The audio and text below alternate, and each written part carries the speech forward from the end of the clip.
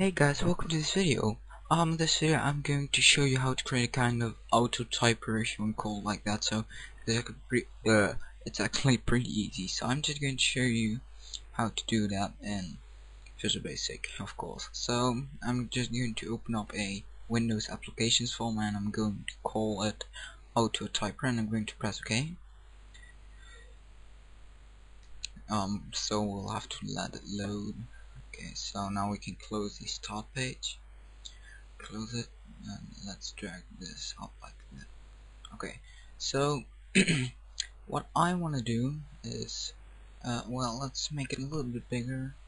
Um, adding a button and adding a text box.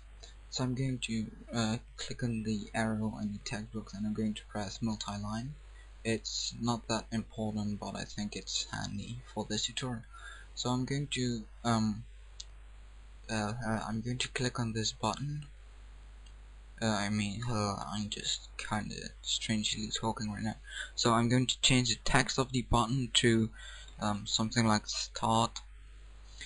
Um oh you cannot see that but okay.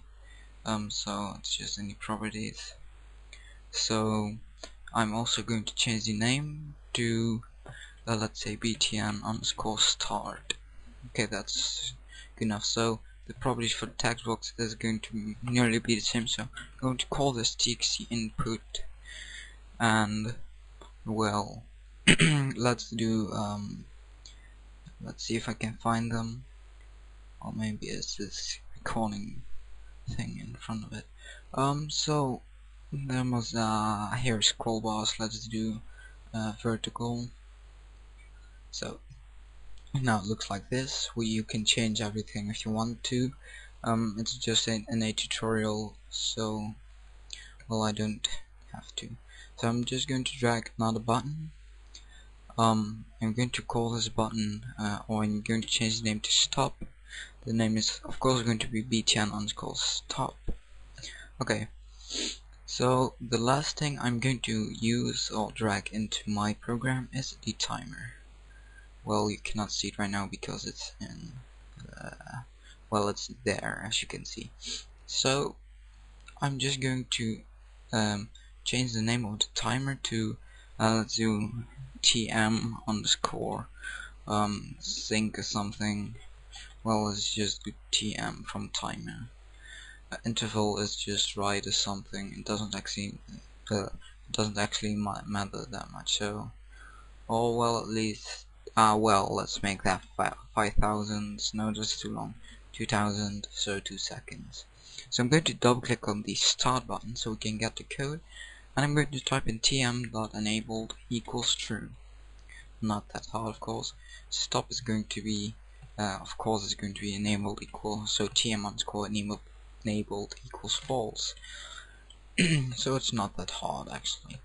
Um so now I'm going to into the I'm going into the timer. Um so this is the sub of the timer. Um so it's pretty easy to that code or something but okay so I want um like I'm going to type something in in this text field and I want that to be printed every um, 2 seconds or it's actually depending on the interval of your timer. And for me that is 2 seconds. So let's do um, well let's declare something like a variable. Uh, well it's not neat actually. Um well something is actually kind of uh, easy to do or actually pretty good to do. Um, when you click on start I'm going to type in txt input.enabled equals false so you cannot edit it. And then txt input.enabled equals true. Um, because I wanna when I press it it will be uh, disabled. But when I press when I leave this code when I comment this one out like that um, it will be disabled. So I cannot when I press stop uh, it will stop actually the timer and everything. But I cannot re-enter something in the text field. So that's pretty important actually when you do this at least. Um well I actually highly recommend it because if you um this method I'm going to use is the send key and it means it will send keys like a kind of uh, it will emulate something like the keyboard inputs or whatever you want to call it.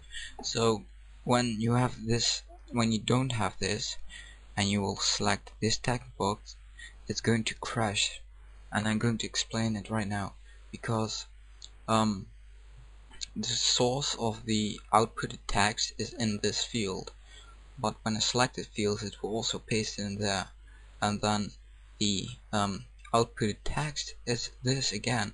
So it's actually kind of getting larger and larger until your program is crashing very hard. So um, one actually this is kind of uh, better to do is you will go to your property box and you will select um, topmost as true. So you don't lose your focus of the form when it's enabled. So it's kinda uh, damn when you are searching for something like it can go actually wrong or something when you are selecting something like star because it's going to enter all those strange signs and and your keyboard and stuff can get uh, can get weird and stuff. I had that a couple of times when it's yeah when it was crashing. But okay I'm not going to hold the code of you right now so I'm just going to type. So it's actually pretty easy. So first I'm going to declare a string. So let's do input text as string equals to txt input dot text. Not that again so then send keys dot send between those brackets actually. Type in input text.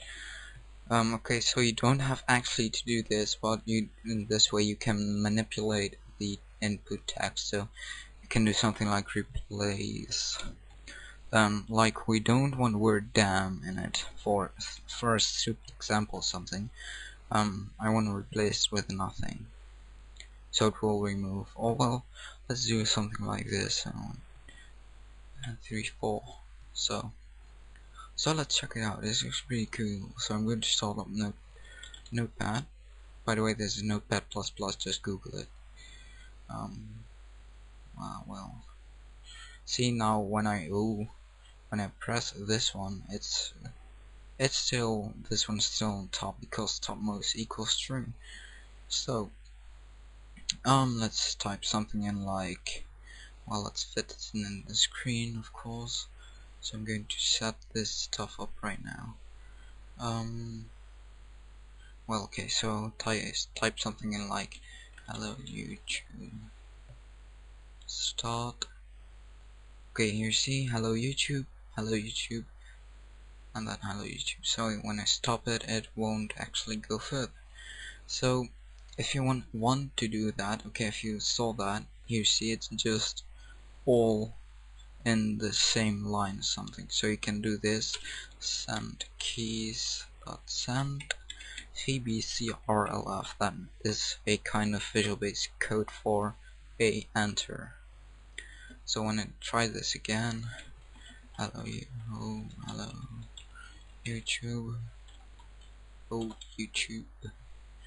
Um I'm going to start and I'm going to select this. Um see now to jump to the next line and again and again. So now it's kind of nice and something. So well um you have to uh, stay focused on the screen or on this uh, text area. Otherwise it won't do anything actually.